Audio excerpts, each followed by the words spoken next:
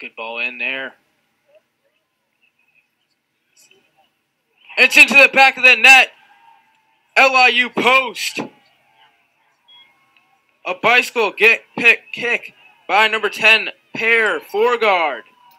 An unbelievable goal. LIU post now lead 2 to nothing with 16 minutes and 4 seconds remaining in the second half.